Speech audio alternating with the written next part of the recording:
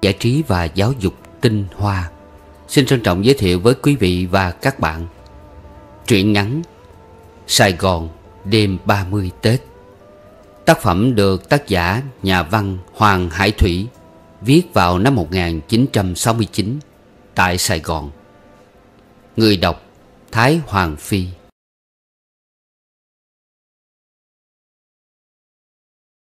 Ngũ đệ anh em ta tình thân hơn cốt nhục. Đó là một câu tôi nhớ Trong số những câu tôi nhớ Của tiểu thuyết Đồ Long ỷ Thiên Kiếm của Kim Dung. Tác phẩm tiểu thuyết tôi đọc ở Sài Gòn những năm 1960 Thời gian tôi 30 tuổi. Đó là câu Dư Liên Châu nói với Trương Thúy Sơn Trên chiếc thuyền lên đên giữa biển Khi hai anh em đồng môn gặp lại nhau Sau 10 năm xa cách. Khi Trương Thúy Sơn đưa vợ con Hân Tố Tố và Vô Kỵ Từ băng hỏa đảo trở về Trung Thổ. Thúy Sơn sợ Trương Tâm Phong, Sư phụ của chàng, Không cho chàng kết hôn với con gái của giáo chủ Bạch Mi Giáo. Chàng được Dư Liên Châu trấn tĩnh. Ngũ đệ, Anh em ta tình thân hơn cốt nhục. Một câu nói rất thường trong một truyện kiếm hiệp, Truyện kiếm hiệp hay nhất trong đời tôi, Làm cho tôi xúc động mãi.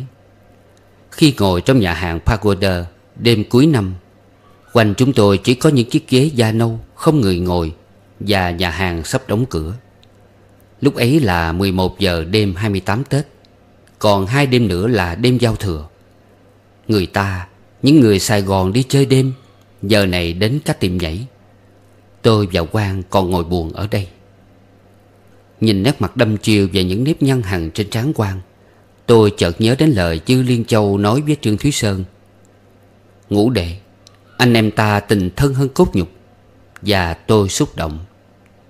Tôi muốn nói một lời để an ủi Quang, Nhưng tôi im lặng, Vì tôi nghĩ trong lúc này, Và trong nhiều trường hợp, Yên lặng là tiếng nói của trái tim. Tôi tuổi dậu, Quang cũng tuổi dậu, Nhưng anh sinh trước tôi 12 năm, Tức là một giáp. Như vậy tôi ẩn tuổi Quang. Theo kinh nghiệm Các cụ ngày xưa cho rằng những người ẩn tuổi nhau thường hợp nhau, Thương mến nhau.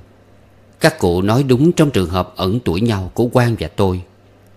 Chúng tôi thân mến nhau, Thông cảm nhau.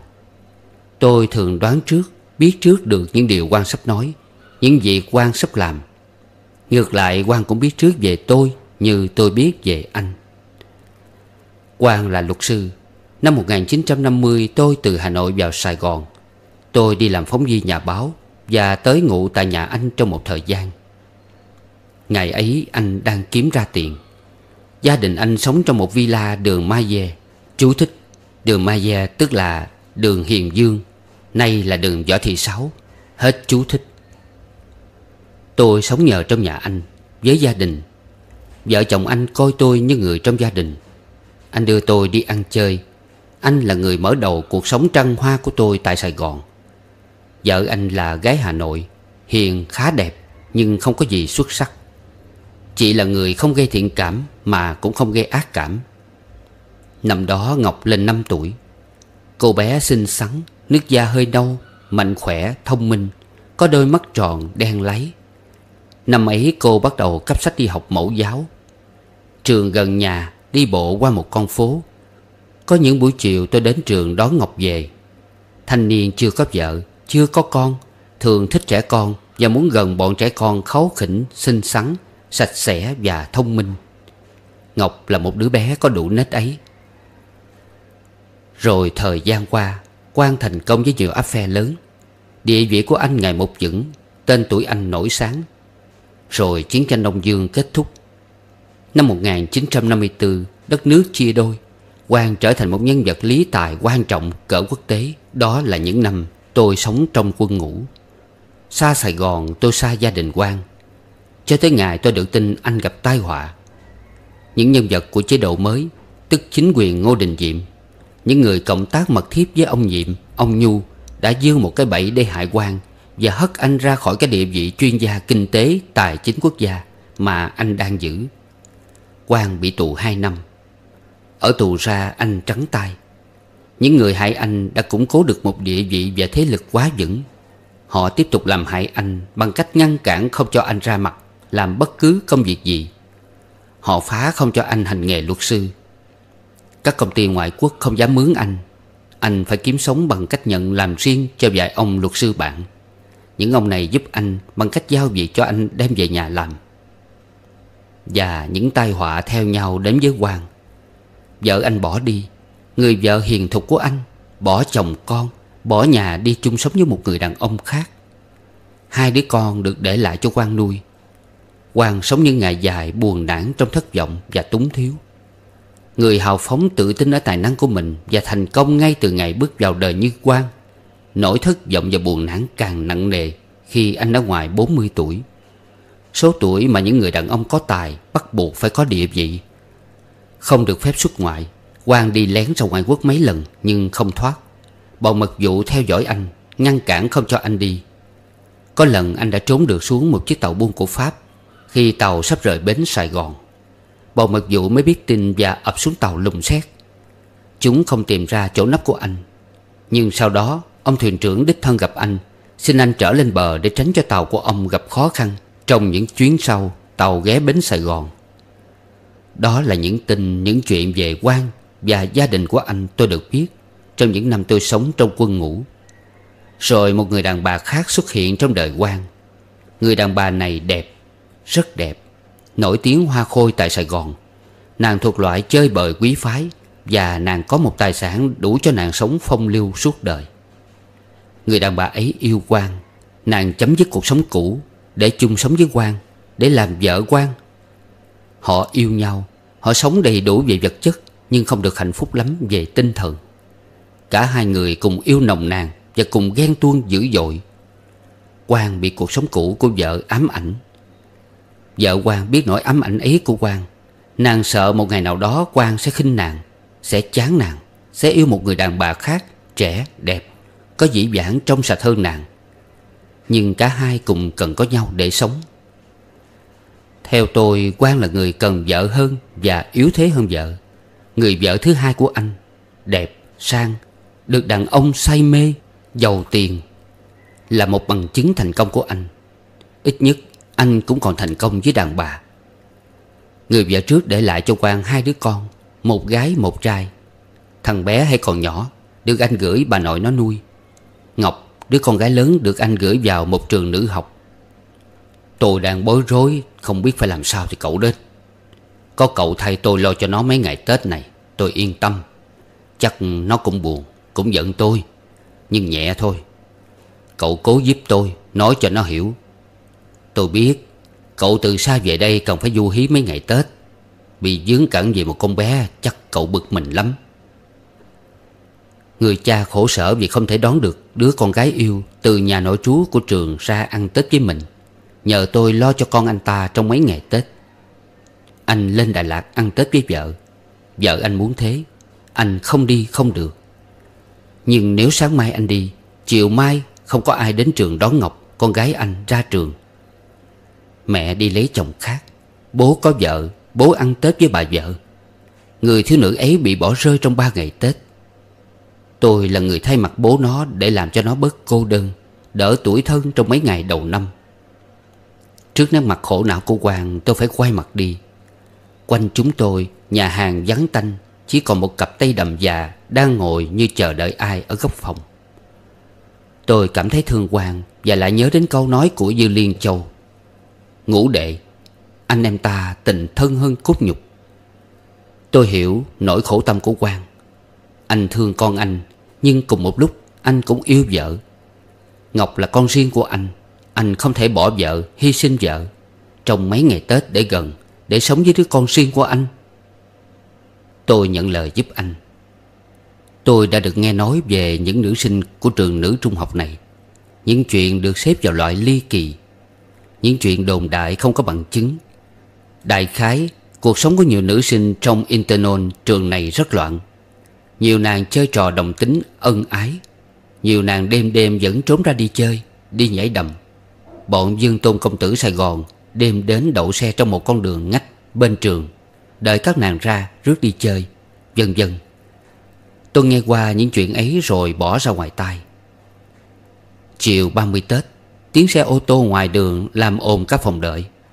Vào những ngày lễ hội, ngày nghỉ Thủ đô Sài Gòn đông xe hơn ngày thường. Đông nhất là buổi chiều gần tối. Ở đây phụ huynh tấp nập đến đón con ra trường. Nữ sinh người Pháp không còn là bao nhiêu. Nhìn quanh tôi chỉ thấy toàn người Việt Nam. Tôi trình thẻ phụ huynh, Giấy phép được nhận lãnh học sinh. Một bà đầm trung niên có vẻ là giám thị, Ghi mấy dòng chữ vào quyển sổ, Rồi nhấc điện thoại gọi vào trong. Bà nói tiếng Pháp. Tôi ra hiên nhà đứng hút thuốc lá. Chú. Tôi quay lại. Năm năm đã qua. Chú gặp cháu lần cuối năm 1964 Bố cháu bị bắt, Chú đang ở lính. Chắc chú đâu có nhớ cháu. Gặp nhau ngoài đường chắc chú không nhận ra cháu, Phải không chú? Trong phòng lạnh của restaurant Trung Nam, Trên bát Consomme sột. Ngọc mở rộng đôi mắt đen và trong. Nói với tôi câu nói gợi lại kỷ niệm. Nàng hỏi, Chú có thấy cháu thay đổi nhiều không? Cháu chống lớn quá, phải không chú? Nàng giơ tay khoát nhẹ nửa vòng trong không khí. Điệu bộ nhí nhảnh như cô đào điện ảnh Sandrati Trong vai thiếu nữ dậy thì, Con nhà giàu, Ngây thơ, gợi tình.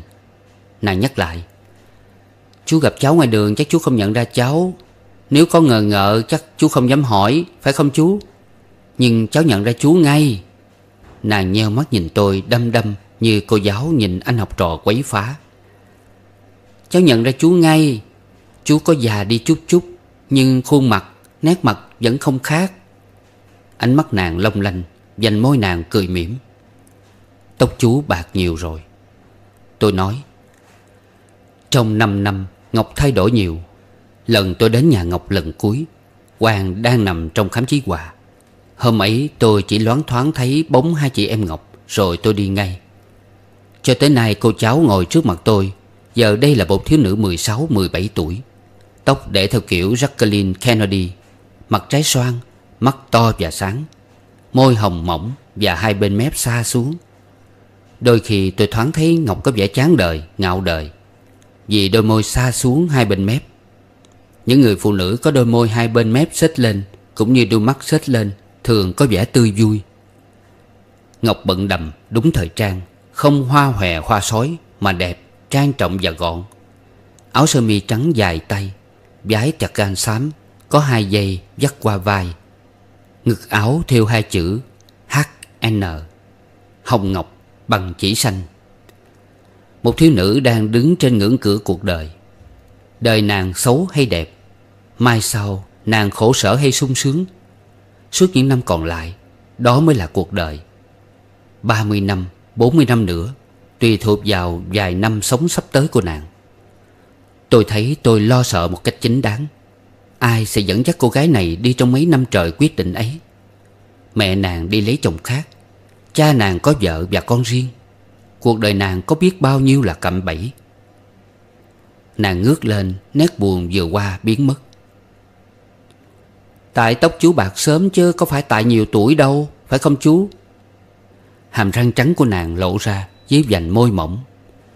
Chú kém ba cháu những 12 tuổi, Năm nay chú mới 33 tuổi. Ba cháu 45 rồi. Tóc bà cháu đã bạc đâu. Có bạc, nhưng không nhiều bằng tóc chú. Hồi này không hiểu ba cháu có nhuộm tóc không. Sao chú không nhuộm tóc chú? Chú không thích nhuộm. Chú thích tóc trắng. Sao thế? Tôi nhún vai. Tại chú thích. Nàng cười thành tiếng. Tóc bạc như Jeff Chandler. Cháu biết tại sao chú lại thích rồi. Tại sao? Chú muốn cho các cô phải để ý đến chú, Vì mái tóc của chú chứ gì. Chú khôn lắm. Cô nào thấy chú hay còn trẻ măng Mà tóc đã bạc trắng Thì cũng phải để ý. Chú thấy không? Đến cháu quen với chú là thế, Mà vẫn còn phải hỏi nữa là. Tôi làm bộ ngượng Vì bị nói trúng tim đen Nàng cười sung sướng.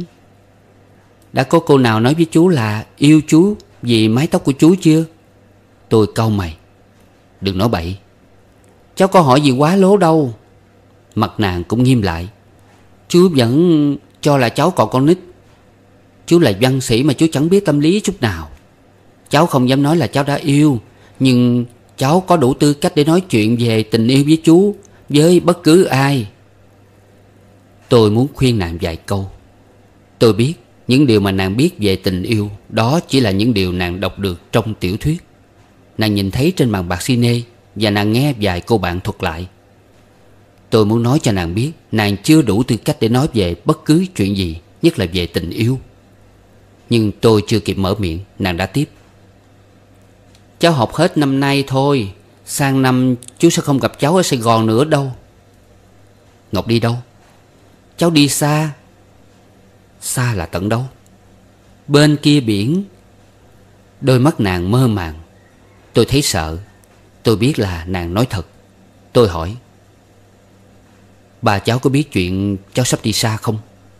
Nàng lắc đầu, Ba cháu chưa biết, Nhưng có biết Chắc ba cháu cũng không ngăn cản cháu được. Cháu hy vọng ba cháu sẽ không ngăn, Và cháu tin rằng Ba cháu sẽ không ngăn cháu đâu. Giọng nàng chợt đổi khác, Rất già dặn, đứng đắn. Đến đúng lúc, Cháu sẽ cho ba cháu biết chuyện. Ngọc đừng có dạy. Không đâu, chú ơi, Chú sẽ thấy là cháu rất khôn. Cháu sẽ có tiền gửi về cho ba cháu, Em cháu và cả mẹ cháu nữa. Ở đời này, Tiền trên hết chú ạ. À. Tiền là tất cả. Chú viết chuyện ca ngợi tình yêu, Nhưng nếu nhà báo không trả tiền chú Chú ngưng viết ngay. Chẳng tình yêu thì đừng. Chú có thể viết chuyện ca ngợi tình yêu rất hay, Rất ra rít. Với điều kiện là chuyện đó, chú phải bán được ra tiền. Tôi trừng mắt. Đừng nói lãm nhảm. Tôi không muốn nghe Ngọc nói nhảm. Ngọc chưa đến tuổi nói đến tiền, Đến tình yêu. Nàng xịu mặt và có vẻ sợ. Cháu xin lỗi chú. Bữa ăn trôi qua trong tẻ nhạt. Chúng tôi trao đổi với nhau những câu hỏi đáp thông thường. Tôi suy nghĩ về những câu Ngọc vừa nói Và thấy nàng có lý. Tôi thắc mắc. Muốn biết rõ về chuyện sắp đi xa của nàng Nàng sẽ đi đâu, Đi với ai? Nói thật hay quan trọng quá một việc Chưa có gì là quan trọng cả. Nàng buồn và ủ dột một cách lạ thường. Ăn xong tôi cảm thấy hối hận nên vui vẻ. Chú thay mặt cháu, Cho cháu đi chơi đêm giao thừa. Cháu muốn đi đâu, chú đưa đi.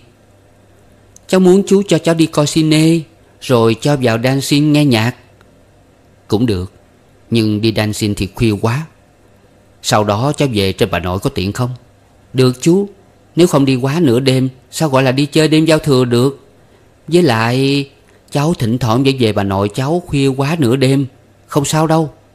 Nhất là có chú đưa về Xuya quá rồi. Nàng tươi lên khi tôi nhận lời. Ngồi trong rạp cine, Nàng chăm chú theo dõi những hình ảnh trên màn bạc. Thỉnh thoảng mới thốt ra một câu phê bình truyện phim. Và lối đóng của các diễn viên. Nàng phê bình rất sành, rất đúng. Vào dancing Nàng đòi uống sâm banh Đêm tất niên Randemond chật người hết bàn. Không khí thật vui. Tiếng nhạc và người nhảy thật hào hứng. Nhìn quanh thấy những bộ mặt thỏa mãn Ẩn hiện trong bóng tối lờ mờ. Tôi chợt nghĩ lẩm cẩm rằng Trong số những người ở đây Chắc không có một ai nhớ rằng Đất nước này đang có chiến tranh Đang bị tấn công ngày đêm. Giờ này đang có những đồng bào của họ Đổ máu và chết. Tôi gọi champagne. Chị cai gà thấy tôi vào Nhân lúc bồi đến mời uống, Chị ghé đến bàn chúng tôi. Chị tủm tỉm cười ra cái điều thông cảm Và ngầm nói với tôi. Đêm nay ông anh đưa trẻ đi ăn, đi chơi. Chị kính đáo hỏi nhỏ tôi. Anh có cần em nào ngồi bàn để gọi? Tôi lắc đầu. Đêm nay tôi đi với cô cháu. Chỉ đến nghe nhạc thôi. Cảm ơn chị. Chị ta nhắc lại. Dạ anh đi với cô cháu. Không nhìn theo chị cai gà. Ngọc hỏi tôi. Bà nào đấy chú? Có phải bà xếp taxi gên không chú? Tôi gật đầu. Bà ấy có vẻ bồ với chú lắm.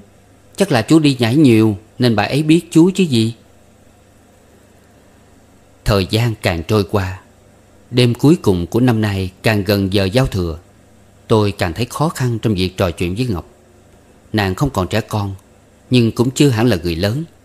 Nàng không thuộc loại Nymphet Nữ nhân vật Lolita của Vladimir Nabokov.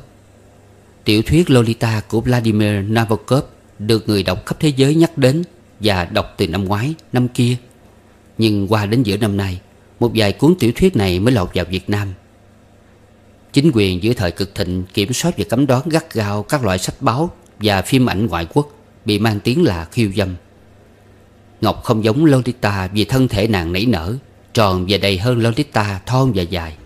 Khi nhận lời đến trường đón Ngọc, cho đến lúc gặp Ngọc trong trường, tôi vẫn nghĩ rằng Ngọc hãy còn nhỏ, hãy còn là một đứa con gái sợ sệt mà tôi có thể đưa đi ăn kem, đi mua sách vở, mua quà con búp bê Tôi nghĩ việc tôi đưa cô cháu ấy đi chơi Sẽ không gây ra một sự hiểu lầm nào. Kể cả những tên bạn lưu manh nhất của tôi Cũng không có lý do để nghĩ bậy Khi thấy tôi đi với cô cháu. Nhưng trong bữa ăn ở Trung Nam, Tôi thấy tôi nghĩ lầm. Nhìn tôi với Ngọc, Chắc không ai cho rằng nàng là cháu tôi. Và giờ đây, Trong dần ánh sáng mờ mờ của dancing, Rượu sâm banh làm đôi mắt Ngọc sáng lâm lanh. Tôi thấy nàng hoàn toàn khác hẳn với cái hình ảnh cháu Ngọc mà tôi vẫn có. Nhìn nàng tôi hiểu. Tại sao cõi đời này lại có những người con gái Thích lấy chồng già Và chỉ có thể lấy hoặc chung sống được Với những người đàn ông gấp đôi Hoặc gần gấp đôi tuổi các nàng. Như người thiếu nữ 16, 17 tuổi đang ngồi trước mặt tôi đây Chẳng hạn. Bọn con trai 16, 17 Kể cả 20 tuổi Ngốc nghếch như gà tổ Chưa biết tí gì về đời Chưa biết suy nghĩ.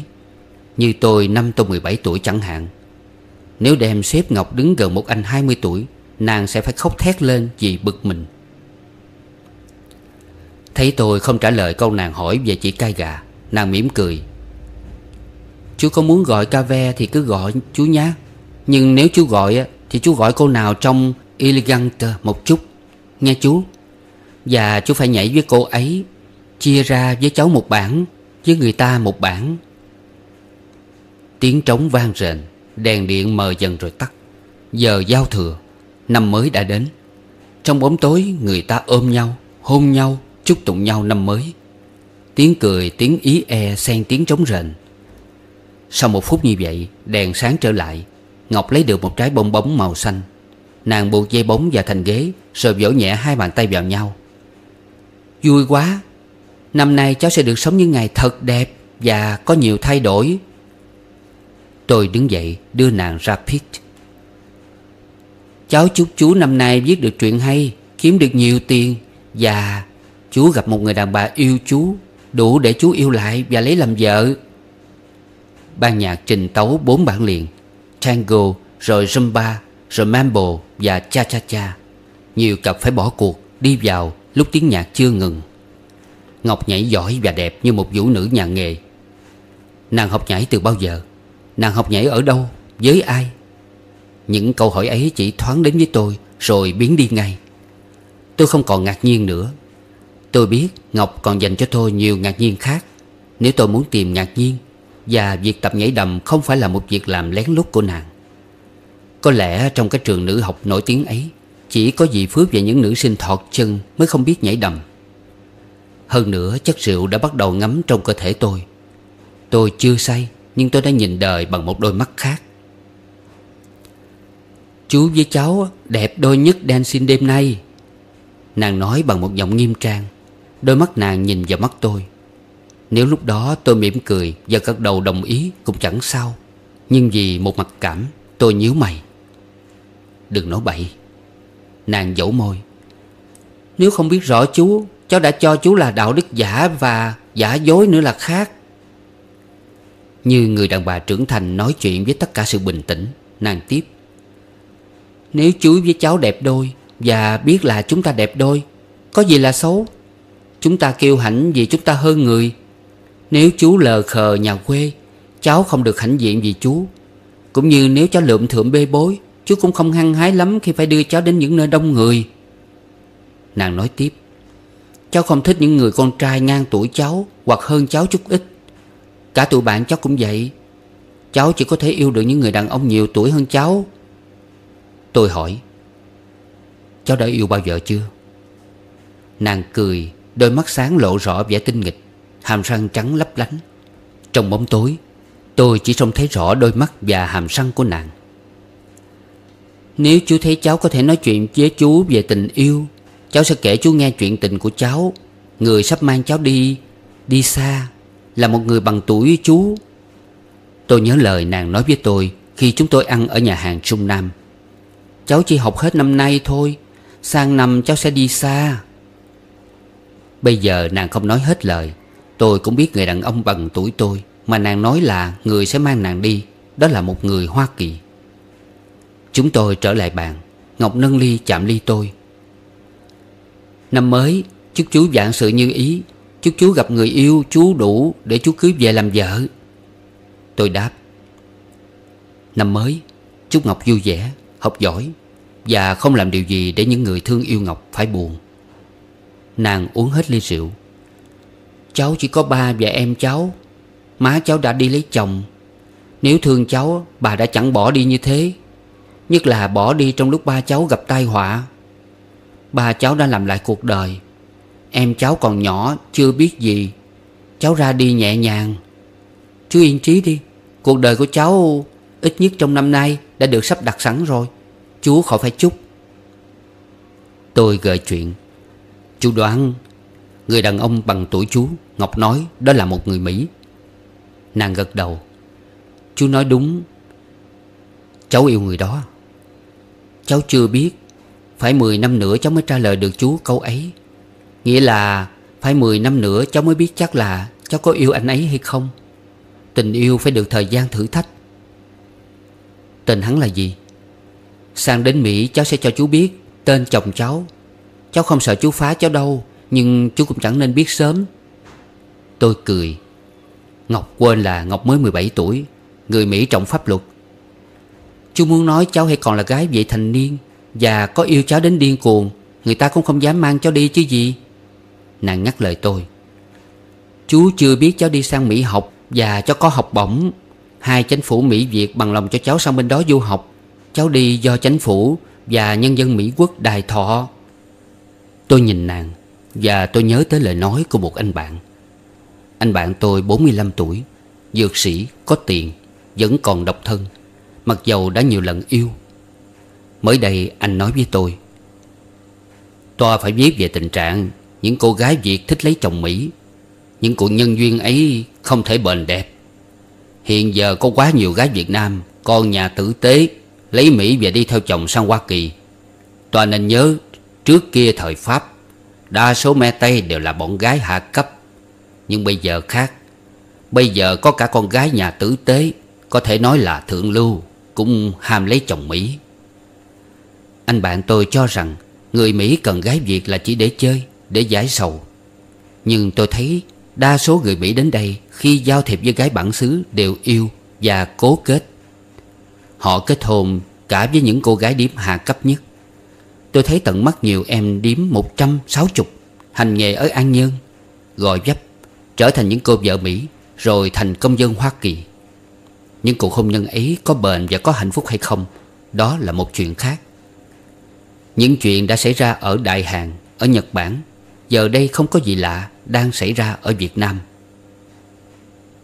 Bỗng dưng tôi thấy buồn Buồn và nản một cách lạ thường. Tôi nghĩ đến Quang. Anh sẽ nghĩ sao? Sẽ nói gì khi con gái anh báo tin Nó lấy chồng Mỹ Và nó sang ở luôn bên Mỹ? Tôi sẽ không biết nói sao Nếu con gái tôi nói với tôi như vậy. Nhảy với cháu nữa đi chú. Sao chú buồn thế? Cháu đã đi mất ngay đâu? Cháu còn ở đây những gần 12 tháng nữa kia mà. 2 giờ sáng, Chúng tôi ra khỏi Grand Monde. Nàng say và yêu cầu tôi lái xe đưa nàng ra cấp. Tôi không thể đưa nàng về nhà bà nội nàng Trong lúc nàng say rượu. Đêm trên xa lộ, Trời tối ôm. Đêm 30 Tết, Nhiều chiếc xe cũng như xe chúng tôi Dung dút chạy xa Sài Gòn. Trên xe nào cũng có một cặp nhân tình. Gần hết xa lộ Tôi dừng xe gần một vườn cao su. Tôi xuống xe theo nàng. Sương đêm xuống lạnh hai vai áo. Nàng đi vài bước trên con đường vắng, Rộng thênh thang. Rồi nàng giơ tay thả trái bong bóng bay lên trời. Nàng đứng nghiêng nghiêng, Trong chiếc áo lạnh màu trắng sữa, Ngửa mặt nhìn theo trái bong bóng bay lên trời cao. Tác phẩm viết cuối năm 1969 ở Sài Gòn. Hết chuyện.